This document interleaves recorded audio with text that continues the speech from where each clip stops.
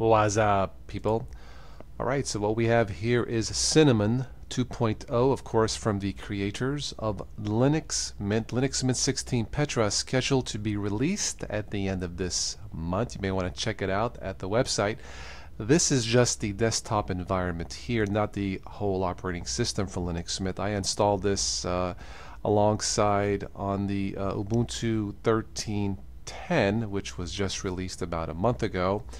Uh, I had Ubuntu 12.04 installed and uh, apparently this appears to be stable in Ubuntu 13.10 so if you want to try it out and you have installed or thinking about installing Ubuntu 13.10 and would like to have a different look to your desktop check this out. Alright let's take a look at the default desktop here. I have installed uh, different uh, pieces of software some different screencasting software Hopefully uh, the screencasting software I'm using now will work because Linux screencasting software in general, I hate to say it guys, it just plain sucks. Alright, let's take a look here and see what we have. I made a change to the panel bar which is normally at the bottom. I prefer it at the top, going from right to left. Alright, we have no windows open, the time and date, the sound menu settings and sound menu integration with different players. I did install Amarok and VLC. VLC should be your standard media player for both Windows and, and Linux. Volume, microphone settings. Let's go to sound settings and if you have used Linux Mint and or Ubuntu in the past you are probably familiar with this and of course different settings here microphone there. I'm not too crazy about the black borders here. It makes it somewhat hard to see. Here at the bottom it says uh, output volume. I mean I already knew that but that doesn't quite appear to be appear to be user friendly. Alrighty, let's see wired internet. Of course the user accounts here. This is the screencasting software that I downloaded from the Cinnamon uh, website. Hopefully it'll work and not crash. Notifications, one thing I do like about this, the ability to right click and add applets. So add applets to the panel. This is what I miss in Ubuntu Unity. These are the ones that are installed. You can, you can certainly get more online. Let's go to installed.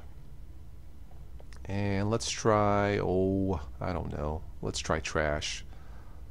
Add to panel and it is yeah it is right here trash let's empty all those test recordings that had trouble with will somebody please create an acceptable Linux screencaster for all seasons or in this case for all distros alright you can do some other things here such as troubleshoot panel edit mode panel settings Again, if you are coming from a Windows environment, you should be able to figure this out. Should not be too difficult.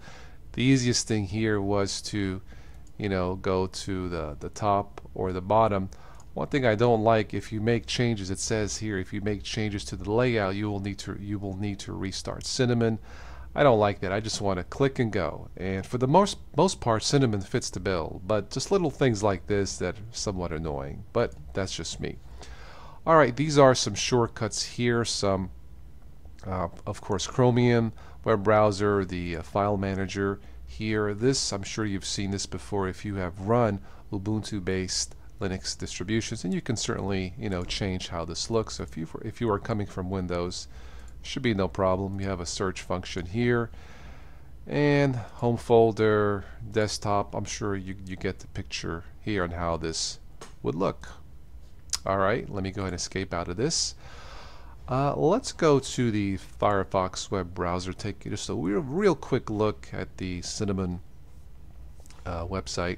I was taking a look at that, and this is where you can get more information here. It says Cinnamon, love your Linux, feel at home, get things done. I suppose, as opposed to hate your Linux, don't feel at home, and don't get things done, right? Oh, never mind. Alright, more information here.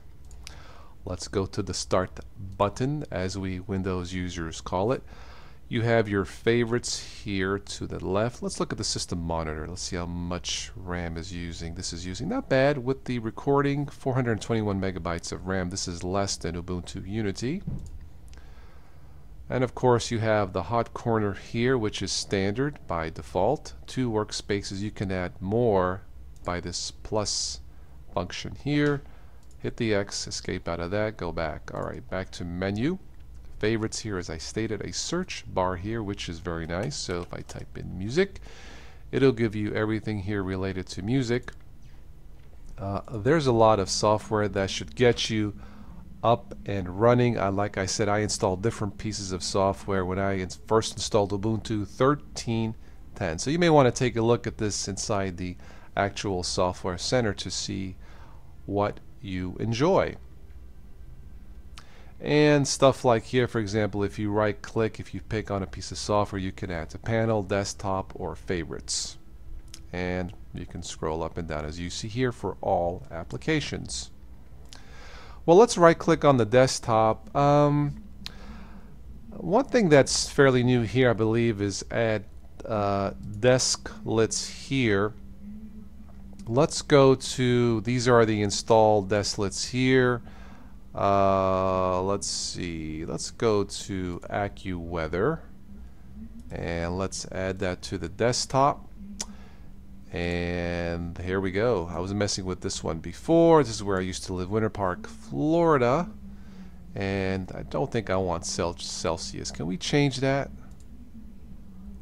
Uh, this black background. Why they put why? Why this black background? It's so difficult to read.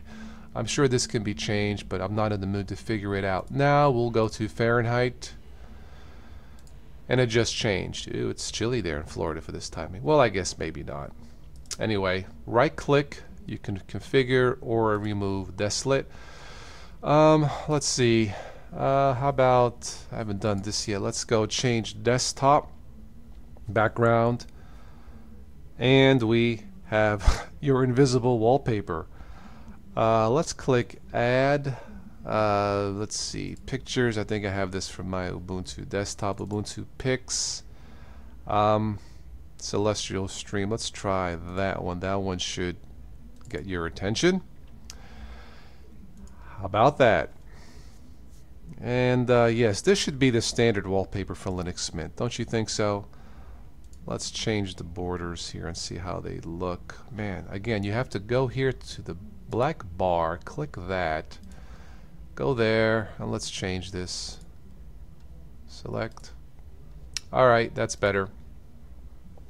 Okay.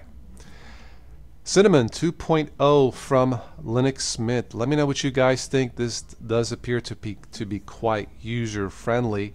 Didn't notice any glitches or hiccups. Hopefully this uh, installed screencasting software will hold up once I escape out of this.